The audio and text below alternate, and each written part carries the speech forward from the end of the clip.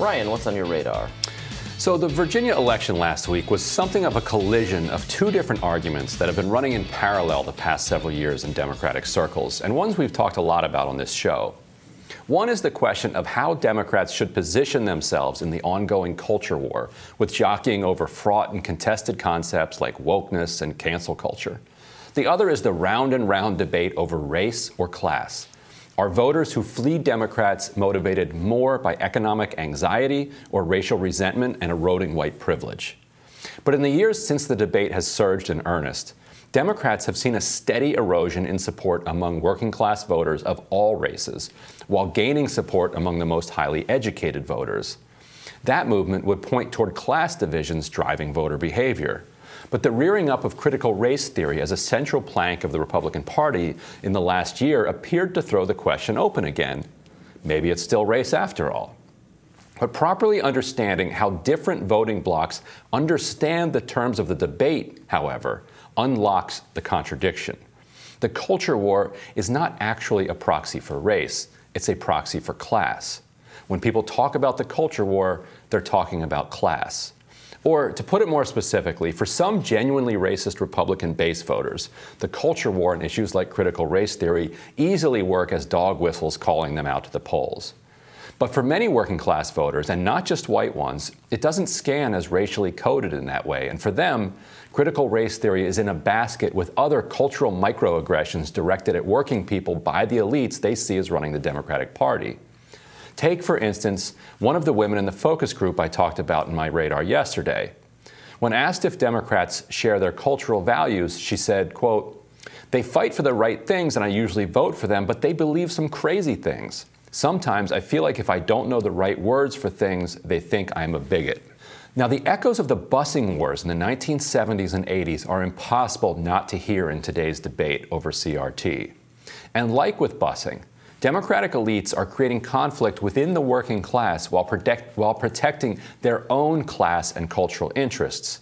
To step back briefly, by the early 1970s, white school districts had spent nearly two decades resisting Brown v. Board of Education, and attention had also turned to redlining and the dug in segregation of housing. The 1968 Housing and Urban Development Act had banned residential segregation and empowered the federal government to use the force of law to put the policy into effect. In 1973, Donald Trump and his father were sued by the DOJ for racial segregation in their housing. That same year, a Gallup survey asked black residents to choose from a list of preferred solutions to school desegregation. And the top choice was the most intuitive neighborhood integration and an end to redlining.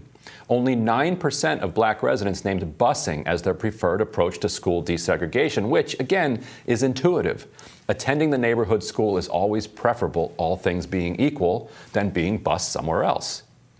But neighborhood integration would require white residents to give something up, while busing could be avoided by the well off by sending their kids to private school.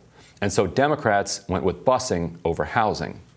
White parents who couldn't afford private schools still fled to the suburbs and began creating new school districts along racial lines. Since busing only happened within a school district, that meant it was largely going on inside big cities, with the suburbs immune. White working class voters who remained in the cities noted rightly that the professional class in the suburbs, which proudly supported busing in the city, was merely signaling its own virtue, while engaging in the same bigoted resistance to or avoidance of integration.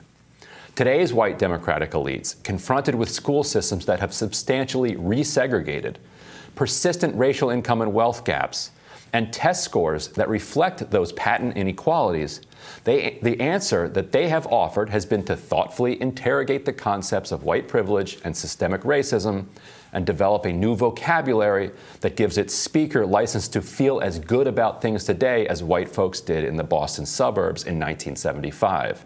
And that's it.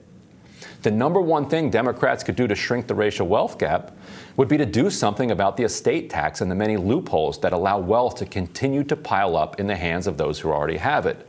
In, in their giant Build Back Better Act, that was one of the first things on the chopping block.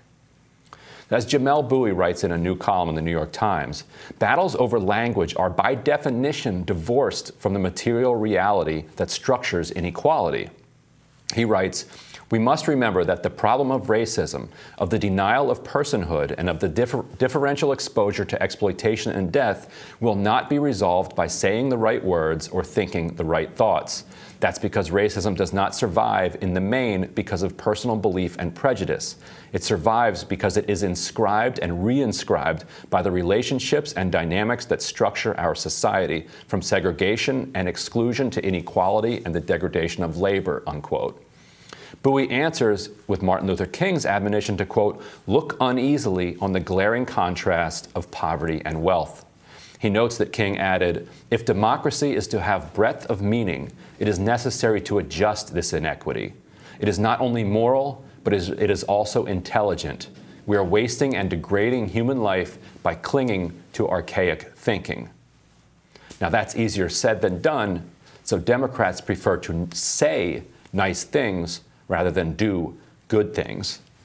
And Democrats are fine doing good things as long as it doesn't come at their own right. expense or what they perceive as their expense. Because I would argue that they were that they were pushing against their own interests by digging in on white supremacy and digging in on segregation because I think that you have a fuller and they, they themselves would have led fuller and richer lives if they had not engaged in that, in that hateful approach to desegregation. But they thought at the time that they were protecting their material interests and, and their property values too. I think they've also been taken in by a kind of um, uh, anti the anti-racism consultant class, mm-hmm.